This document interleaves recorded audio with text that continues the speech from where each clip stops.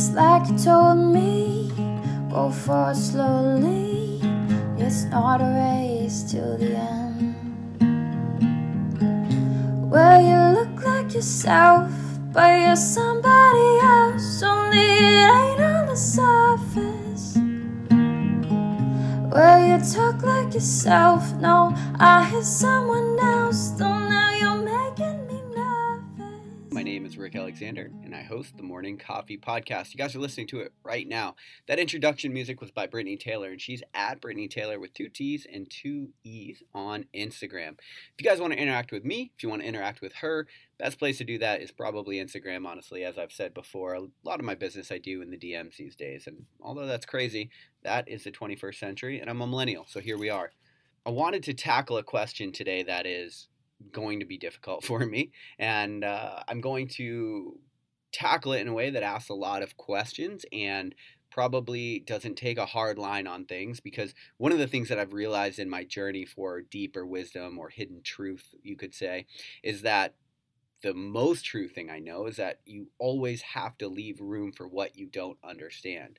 And so if you become super dogmatic of your beliefs, well, you, you have to understand human awareness is so finite. You, you could be leaving out a lot of things. And so if you are dogmatic in your beliefs and then you start running into trouble in your lives, which people do around 30 years or so into their lives, they start realizing like anxiety starts creeping in. Shit's not the same as it used to be. You've known more people that have died now, and that's kind of weird. And on top of that, things have not worked out like you thought they were going to, probably many different times.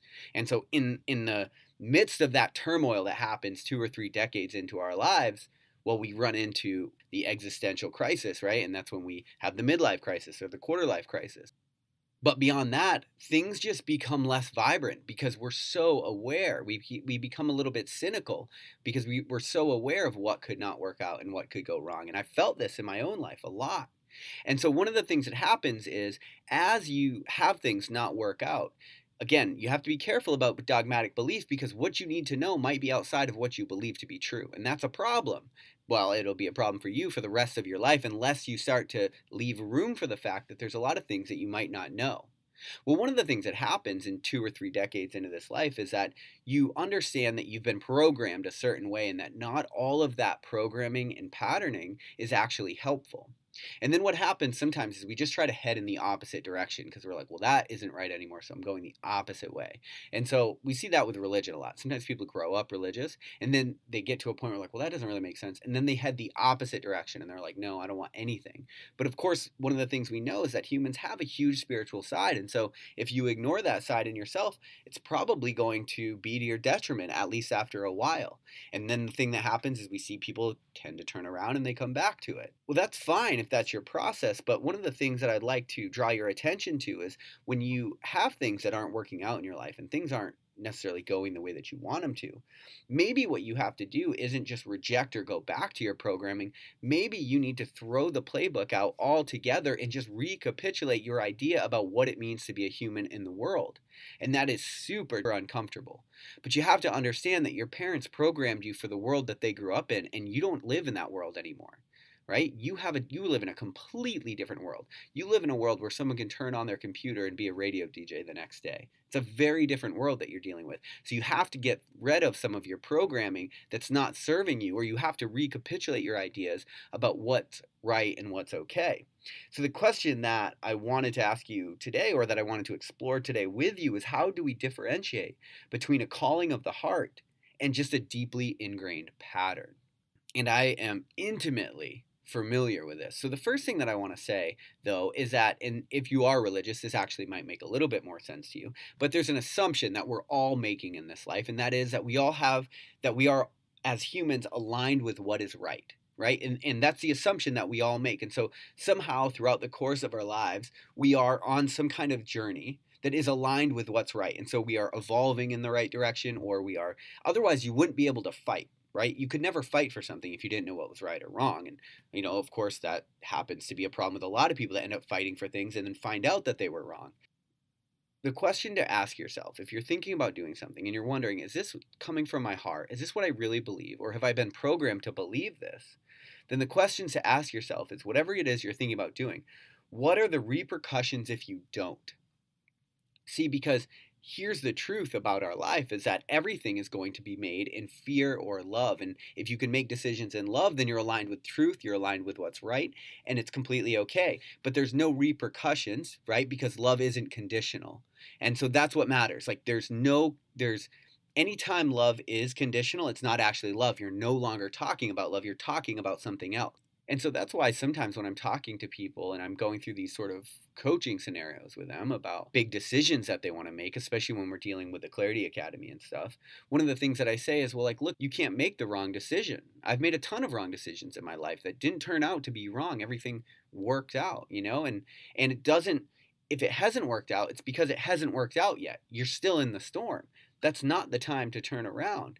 But if you find that you're coerced into doing something or you feel like you have to do something because of some kind of repercussion, then it's most likely that that isn't aligned with what's actually right. Because if we're aligned with what's right, then it makes no sense to operate out of fear. And I think what you're starting to see as a evolution of consciousness with humanity as a whole is that we're stepping further away from fear programming and stepping further toward truth, light, and love. And that that's actually just my understanding of this sort of consciousness expansion or revolution that's happening right now. But within your own life, as things don't work out, you're going to deal with the fallout. And sometimes you're going to want to deal with it a certain way, but you're going to bounce off your belief system because you've you've been taught to believe a certain thing about what happens when things don't work out, or you've been taught to believe a certain thing about what happens when you fail.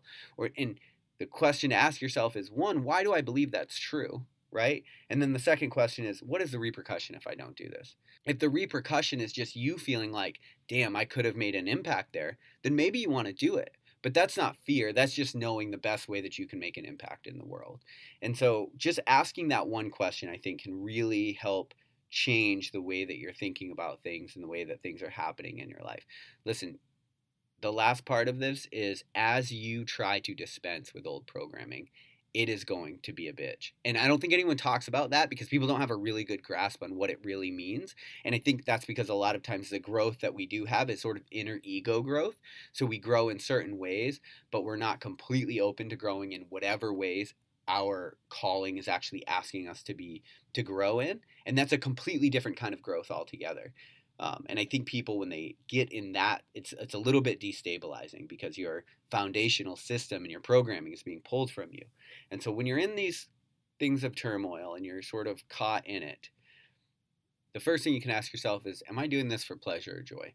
So, existential crisis, midlife crisis, quarter life crisis, a lot of pleasure seeking, but not much joy, right? And you know it's pleasure because it never actually gives you what it promises to give you before you get it. And that's a new car, a new girlfriend or boyfriend, like a new haircut, new anything like that is a pleasurable activity and you can use them to make your days better. And so, what you want to do is find the activities that create joy in your life. And if you're creating joy, there's probably no presence of fear whatsoever. Uh, but tough one to walk through today, uh, tough one to walk through in your own life. But think about the thing that you want to do. Ask yourself, what are the repercussions if you don't? And then you'll know if that thing is coming from your calling, from your heart, or if it's coming from past programming. Love you guys. Talk tomorrow on Morning Coffee.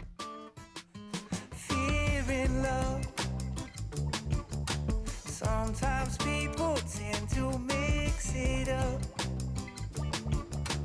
Tell me which side are you standing on?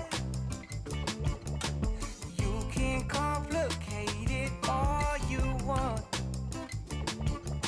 But in the end, it's only fear. I wrap my heart up in sage. I am anointing the skin, the flower braid in your hair. Your tongue is wet to the wind, and if the water is clean, that's a good place to begin to wash away all the fear and let the laughter back in. Tell me, what are you running from? If we don't stop, it goes on.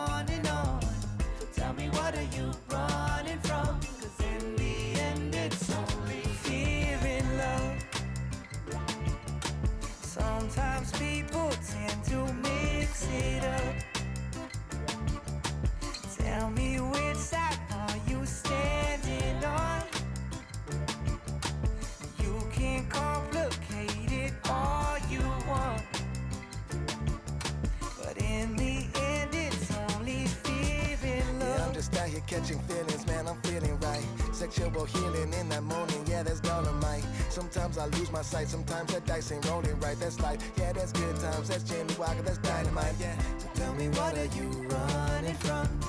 If we don't stop, it goes on and on.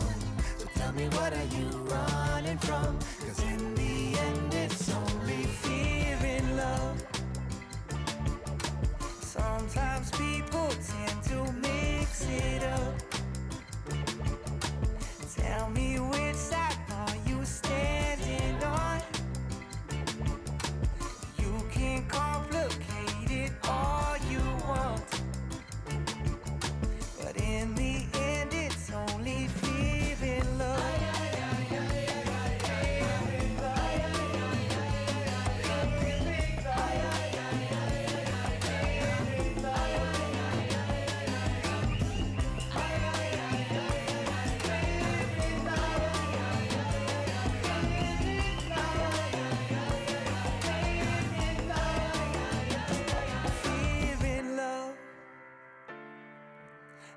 Sometimes people tend to mix it up.